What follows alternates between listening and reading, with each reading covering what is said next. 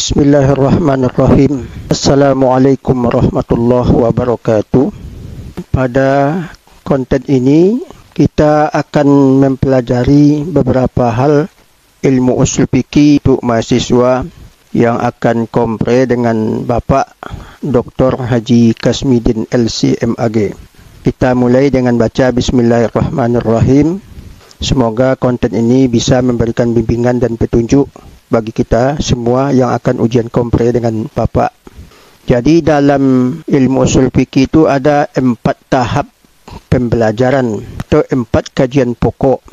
Selalu Pak tanyakan sebelum ujian kompre dengan Bapak. Berapakah marhala atau tingkat atau uh, kelompok keilmuan ilmu usul fikih Maka jawabannya adalah empat tingkatan. Satu disebut dengan satu disebut dengan hukum atau al-ahkam al-fiqhiyah, hukum-hukum fikih. Yang kedua namanya masadir al-fiqh.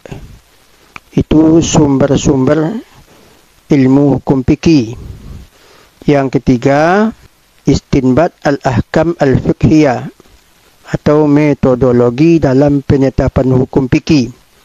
Orang juga menyebutnya istimbat hukum atau toriko istimbat al-ahkam. Yang keempat disebut dengan al-ijtihad atau mujtahid. Siapa-siapa saja orang yang punya kapasitas untuk menetapkan hukum-hukum fikih. Jadi empat pokok ilmu usul fikih kita coba dulu memahami apa itu ilmu usul fikih. Ilmu usul fikih itu adalah belajar tentang asal muasal fikih. Itu makanya namanya usul asal aslun al-fiqh fikih. Asal muasal ilmu fikih. Fikih itu secara bahasa maknanya pemahaman. Jadi asal muasal mempelajari pemahaman terhadap ayat Al-Quran maupun hadis Nabi sehingga dengan memahami ayat dan hadis Nabi itu diproduklah sebuah hukum. Itu makanya dinamakan dengan ilmu usul fikih. Fikih itu zaman Nabi secara disiplin ilmu tak ada. Zaman Nabi itu cuma ada syariah. Ulama membagi-bagi apakah ini tuntutan atau keterangan ayatnya bertujuan untuk wajib untuk haram dan yang lain-lain itu secara disiplin ilmu belum ada zaman Nabi. Makanya ulama menyebutnya dengan ilmu fikih kerana memahami maksud dari teks ayat itu yang berorientasi kepada hukum wajib haram. Ha, ini sebuah pemahaman maka disebut dengan asal muasal pemahaman terhadap ayat sehingga menimbulkan hukum. Jadi ini pengertian wawi atau kebahasaan pengertian dari ilmu usul al-fiqh atau usul al-fiqh. Jadi dalam usul fikih itu pada dasarnya kita mempelajari atau mentelaah maksud-maksud bagaimana ulama dulu menetapkan ilmu-ilmu hukum itu. Pada dasarnya ilmu usul fikih itu mempelajari, mentelaah, memahami metode-metode ulama zaman dahulu ketika dia menetapkan hukum seperti hukumnya solat itu menjadi wajib. Jadi dalam ayat itu tak ada dikatakan sembahyang wajib yang ada cuma aqimus solah, lakukanlah solat. Atas pemahaman itulah nanti muncul ilmu hukum fikih. Kita mempelajari metode ulama-ulama terdahulu menjadi sebuah disiplin ilmu disebut dengan ilmu usulul fiqh dibangun oleh seorang ulama bernama Imam Ash-Syafi'i. Jadi ini pencetus ilmu usul fiqh. Kalau kita mempelajari ilmu usul fiqh itu, kita faham cara ulama terdahulu dan menjadi sebuah metodologi bagi kita ketika kita menetapkan hukum yang belum ada diputuskan oleh para ulama zaman dahulu seperti bayi tabung, kredit, jual beli yang bersifat pesanan online hari ini jadi itu bisa dijawab dengan ilmu usulul fiqh kalau kita faham. Jadi mempelajarinya itu ada dua variabel. Satu variabel mempelajari teori ulama ketika menetapkan fikih-fikih klasik. Kemudian menjadi sebuah metodologi untuk ke depan untuk menjawab dalam penetapan hukum-hukum yang terjadi dalam realita hidup kita hari ini. Di dalam buku bapa itu kalau dari segi judul aulawiyatun fi ilmi usulul fiqh prioritas. Jadi dibikin sini judulnya empat pilar ilmu usul fikih.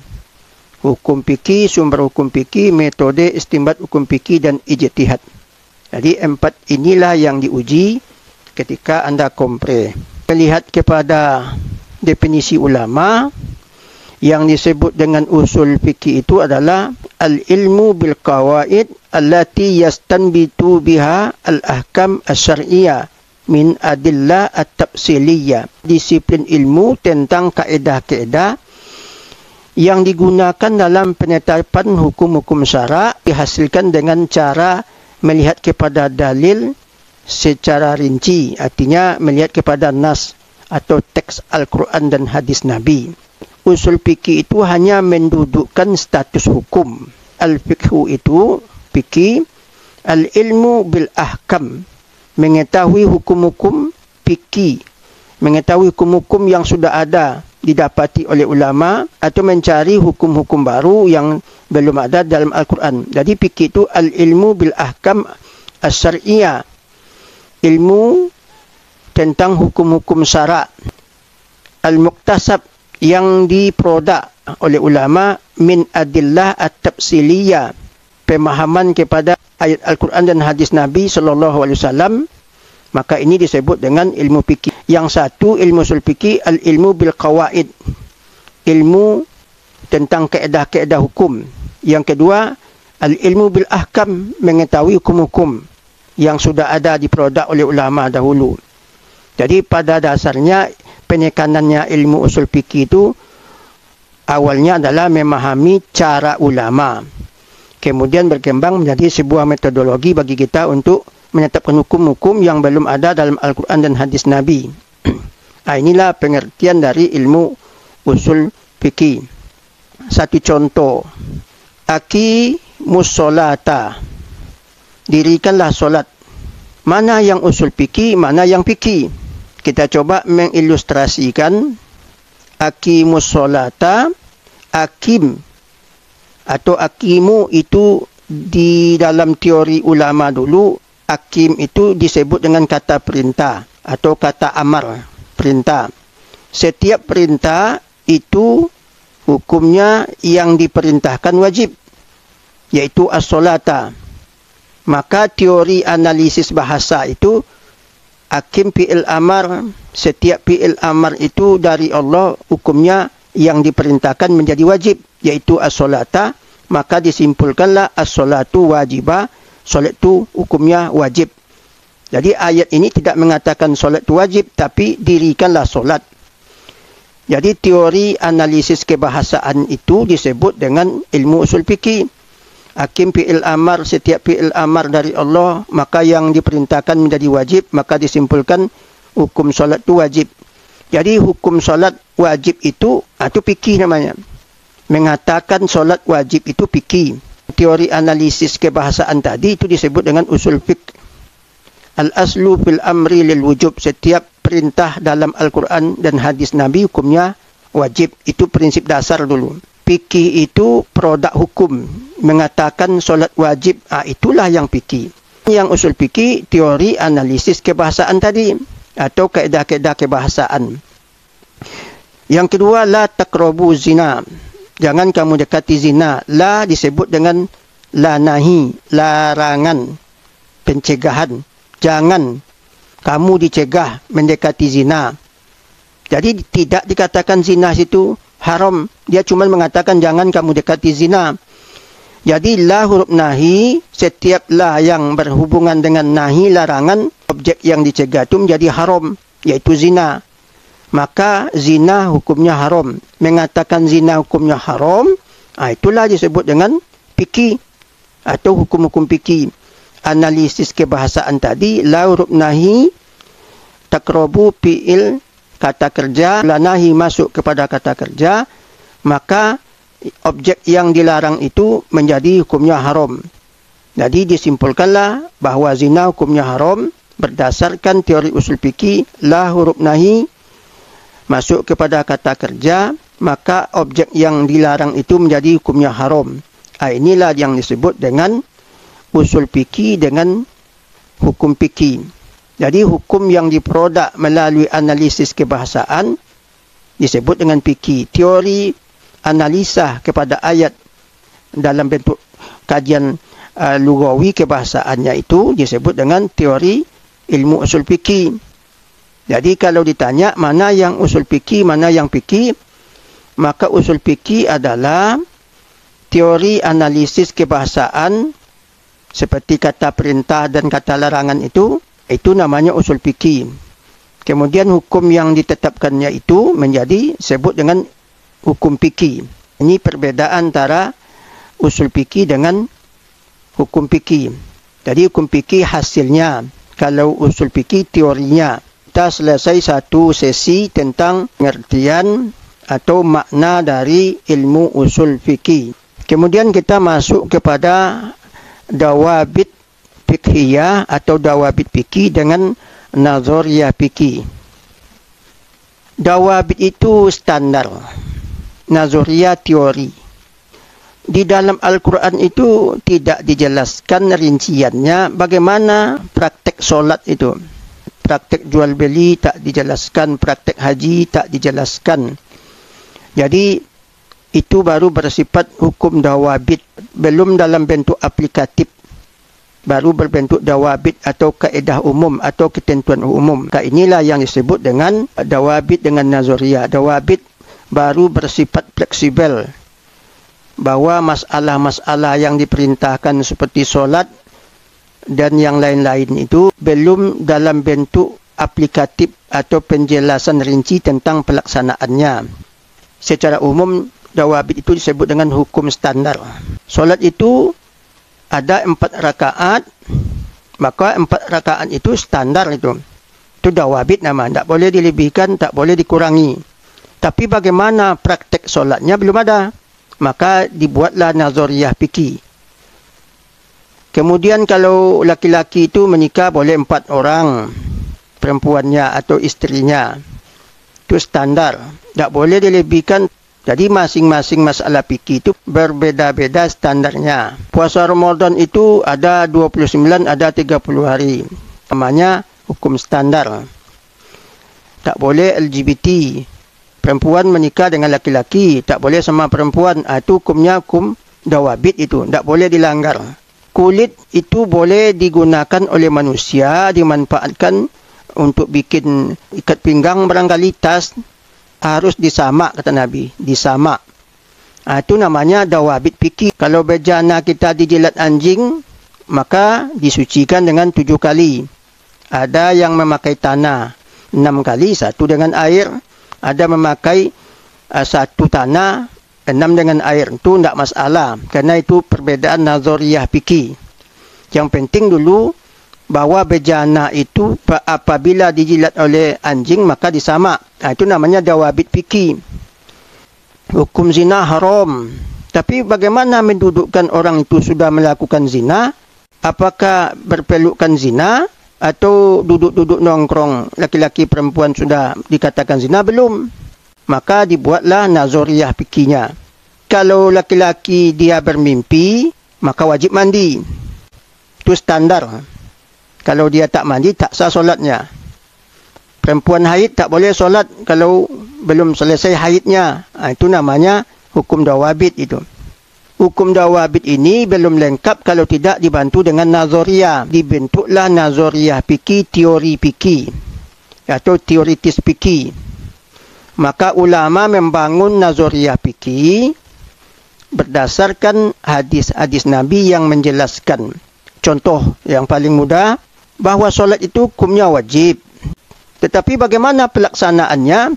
Di dalam Al-Quran itu tak ada diuraikan solatlah kamu beruduk terlebih dahulu kemudian menghadap kiblat angkat tangan baca niat baca al-fatihah baca ayat rukuk kemudian i'tidal kemudian sujud duduk di antara dua sujud kemudian sujud lagi kemudian bangkit lagi untuk melakukan kedua tidak ada penjelasan dalam Al-Quran maupun hadis Nabi.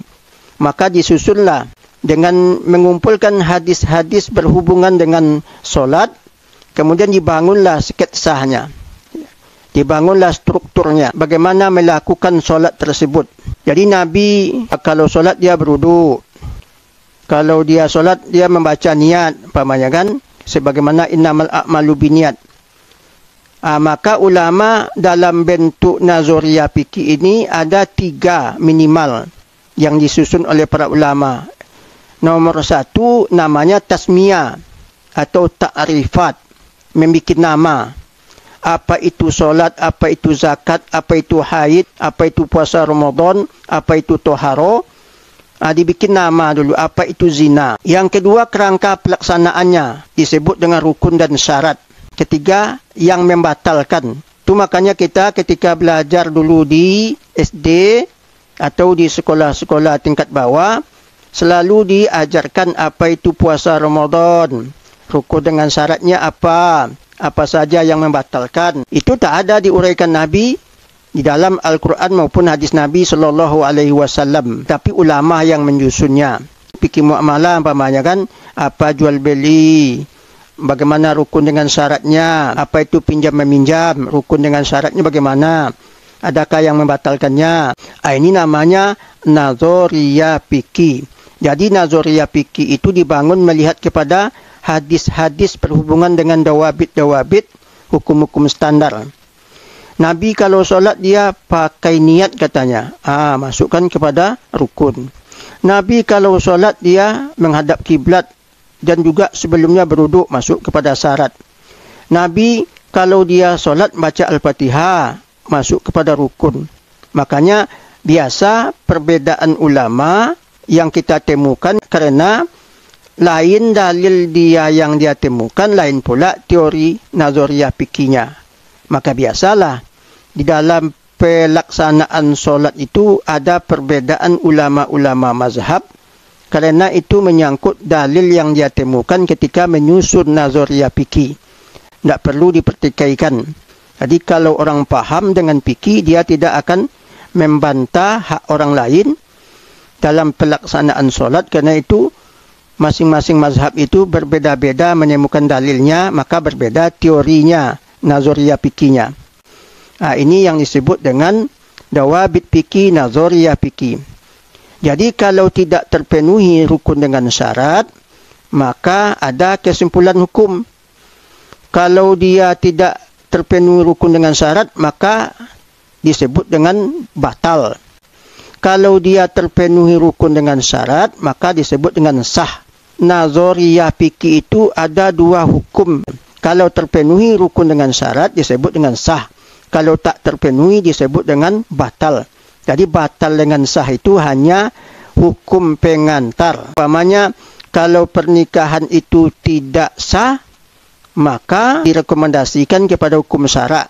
Kalau dia tetap berkumpul, hukumnya haram jual beli itu kalau tidak terpenuhi rukun dengan syarat, maka jual beli menjadi batal. Kalau dia lakukan juga, maka itu menzolimi orang. Nah, ini yang disebut dengan dawabit dengan nazoriyah fikih dan hukum-hukumnya. Setiap nazoriyah itu dibangun dari dawabit-dawabit fikih. Kalau tak ada dawabitnya, ulama berijtihad. Kalau orang solat, umpamanya kan ketika rukuk, uh, dia lupa membaca Al-Fatihah. Hadis tidak ada menjelaskan.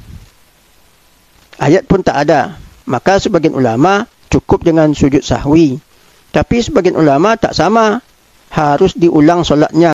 Kerana yang tinggal itu rukun. Kalau rukun yang tinggal, kalau tak mungkin lagi dijeput, rakaat yang ketiga lupa membaca Al-Fatihah rakaat pertama itu batal. Tak bisa dijeput lagi. Tapi kalau sedang rukuk, ingat Al-Fatihah belum terbaca, bisa bangkit lagi. Itu bisa dijeput. Ini hal yang tak ada dijelaskan Nabi tetapi ulama berijtihad. Setiap nazariah fikih itu diambil dari hadis menjadi dawabit-dawabit fikih kalau tak ada ulama berijtihad. Termasuk juga jual beli. Jadi zaman Nabi tu tak ada istilah akad. Akad jual beli pakai ijab dengan kabul tak ada. Tu lama yang menyusunnya. Rukun syarat jual beli itu apa? Yang membatalkan jual beli itu apa? Ah, itu ulama yang mempertajam dalam bentuk kerangka dawabit piki dengan nazar piki. Barangkali itu yang kita uraikan tentang dawabit dengan nazariah. Semoga anda bisa memahami. Jadi untuk lebih lengkapnya coba dibaca buku bapak.